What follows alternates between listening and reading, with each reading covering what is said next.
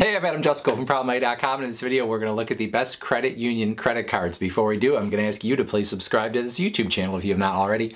And if you have already, I thank you for doing so. So we're going to do a top 10 of the uh, best credit cards that come from credit unions and then at the end there will be a bonus card that uh, is a really good card but we put it at the end because the first 10 cards are all going to come from credit unions where you can probably gain membership fairly easily even if you don't fit their normal eligibility requirements all of them are going to have some sort of backdoor, at least most of them are going to have a backdoor or a very large umbrella of people that fit under for membership, where the last one has very narrow eligibility requirements, even though it is a darn good credit card. So credit union credit cards uh, oftentimes are not as good as sort of the big bank credit cards, but if you are willing to pick through the many credit unions out there, some of them are really, really good. And so that's what we're going to do in this video.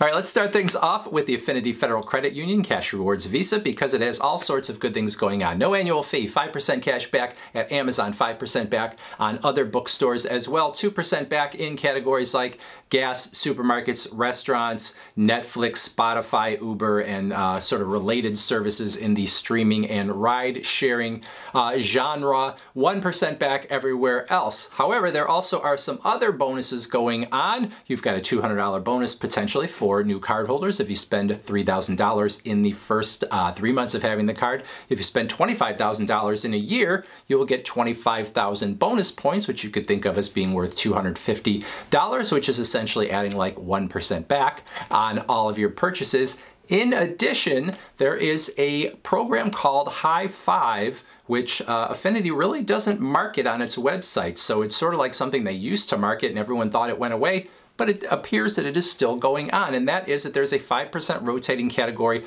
each calendar quarter on top of all the things that I've talked about. For example, fourth quarter of 2022, it is gas and supermarkets where you could get 5%. So you can get an awful lot out of this card. Maybe Affinity Federal Credit Union doesn't talk about the High Five program anymore because they don't want too many people coming to the credit union just for that credit card. I am not sure, but all kinds of good stuff going on there. Number two on the list, a card we talk about often on this channel, it's the Navy Federal Credit Union More Rewards American Express card. No annual fee, three points per dollar or 3% cash back on the big three categories as far as I'm concerned, those being supermarkets, restaurants, and gas and transit. So you get 3% on all of those, you get 1% back on any other purchases with the card. There's a $200 bonus opportunity for new card holders as I make this video. If you spend at least $2,000 in the first 90 days of having the card, no foreign transactions, fees.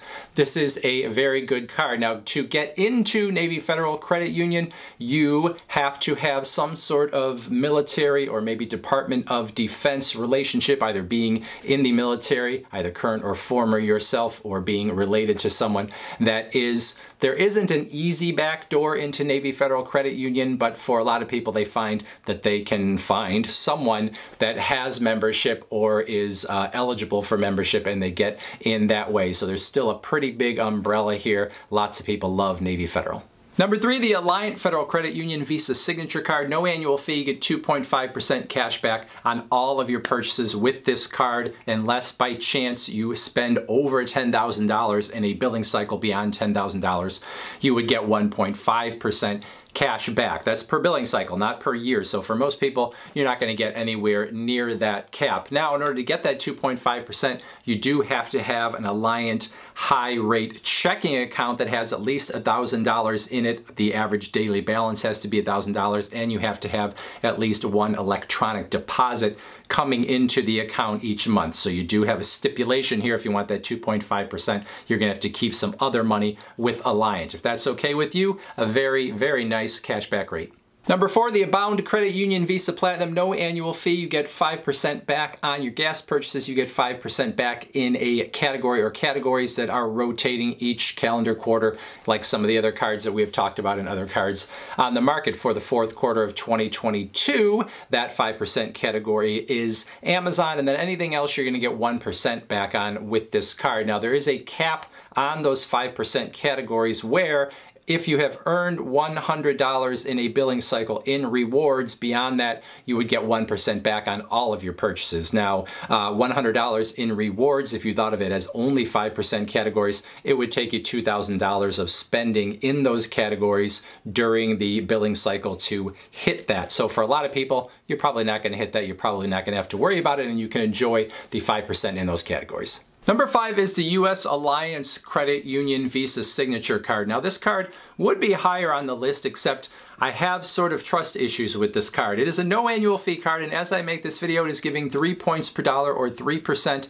on all of your purchases but also 6% on grocery store purchases. However, that 3% is slated to end as I make this video on December 31st of 2022. Now, every time I look at this card, they kind of show the offer with an expiration date and the expiration date is always different. So I don't know if they keep giving sort of an upfront bonus percentage and then it goes down to something else or what they're doing with this card. So I don't totally trust it, but the 3% as I make this video is good through the end of December 2022. The 6% on groceries is actually good according to their website through the end of 2023. So even if you don't continue to get 3% on other things, you also have 6% on groceries that is going to be good at least through the end of 2023. So if this stuff sticks, then this would be a very good card for the long term. But if it is all just like, you know,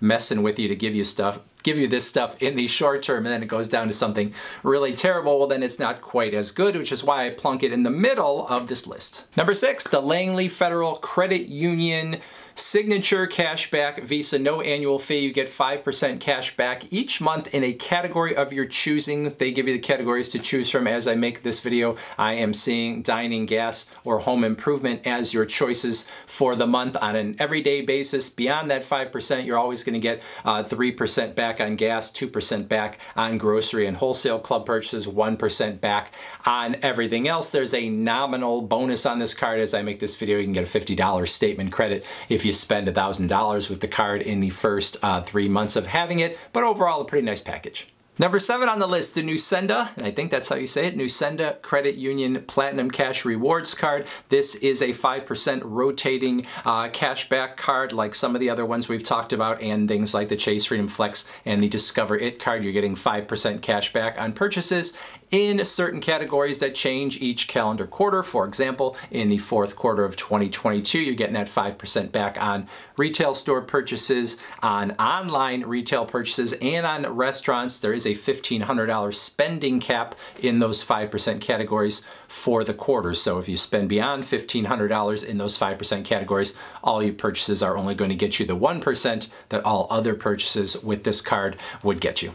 Number eight, the Signature Federal Credit Union Visa Signature Card is a no annual fee card that gives you 2% cash back on all of your purchases with the card, except streaming services, you're actually going to get 6% cash back on. Now there is a uh, spending cap on those streaming services in terms of getting these 6%, you would get up to $10 in rewards at that 6% rate per month. And then beyond that, I believe you go back down to the 2% rate that you would for any other purchases. If you can't quickly do the math, that means if you're spending around $165 worth of streaming services per month, all of that would still get to you at that 6% rate. If you were going beyond $165, that's when you would go down to the lower rate. Number nine, back to Navy Federal Credit Union and the flagship rewards card. This one has a $49 annual fee. You're gonna get three points per dollar on travel purchases, two points per dollar on all other purchases, purchases with the card, you can think of those points as being worth at least a penny per point in most redemption scenarios.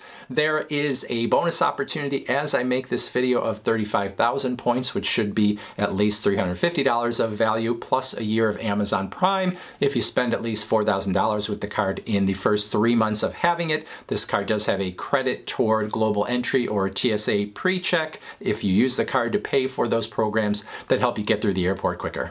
Number 10, the PenFed or Pentagon Federal Credit Union Pathfinder Rewards card. Now, this is a card that sort of has some strings attached as far as I'm concerned when I'm looking at the value. The first string is that in order to get good value out of it, you would want to be or need to be an Honors Advantage member of PenFed, which means you are either current or former military or you have a PenFed checking account in addition to having this credit card. Because if you aren't an Honors Advantage member, you are going to have a $95 annual fee that isn't really worth it in my opinion, and you're going to get a little bit less in rewards. So let's assume you're an Honors Advantage member. In that case, you're going to get four points per dollar on travel purchases, 1.5 points per dollar on all other purchases, and then you have a fairly big bonus opportunity on this card, and then you have some uh, credits, including an airline credit for incidentals each year, and then you have a credit for global entry or TSA pre-check on this as well. So there are some good things going on with this card, but the other sort of string attached in a way is when you look at the points you're getting, oftentimes we might just do a quick calculation in our head and say that four points per dollar equals 4% on those purchases, but really your points with this card in most instances are gonna be worth a little less than a penny per point, and you can't cash them out. So you're gonna be using them for either travel or gift cards or merchandise. So it's not sort of an easy calculation in your head to know exactly how much value you're getting because four points per dollar, you would normally think of as 4% maybe it's like, I don't know, 3 to 3.5%, 1.5 points per dollar on all the other purchases. You might be thinking of that as like 1 to 1.2% if you are doing a calculation that way because the points aren't worth quite as much. But you also have some nice credits on the card as well, and if you're an Honors Advantage member, it ends up being a no annual fee card. So a good card, but it all depends on how you look at it. So those are the top 10, but I did promise a plus one, and that plus one is the Aerospace Federal Credit Union Platinum uh, Cash Back Card, or there is a points card. We'll use the cash back card just to give you the highlights 5% back on gas purchases, 4% back on dining and entertainment, 3% on travel, 2% on everything else on the card. Pretty nice. And if you have the points card, you can even get a bonus of 5,000 points when you use the card for the first time. However, the eligibility, very narrow. You have to be someone that works for the Aerospace Corporation or a government worker who is on the uh, Los Angeles Air Force Base or someone that is related to someone that falls into those buckets. So not everyone can get their hands on this one, obviously, but if you have the opportunity, you definitely are going to want to get your hands on it. That is it for this video. So you get a top 10 and a plus one. If you know of a credit union credit card that I missed, I would love to hear about it in the comments section below. Otherwise, I thank you for watching. And as always, please go to proudmoney.com where we do credit card reviews, we talk personal finance, we talk deals, and all sorts of other fun stuff too. If you're not going to uh, go to the website or you're not going to leave a comment below, maybe you'll want to watch this video next.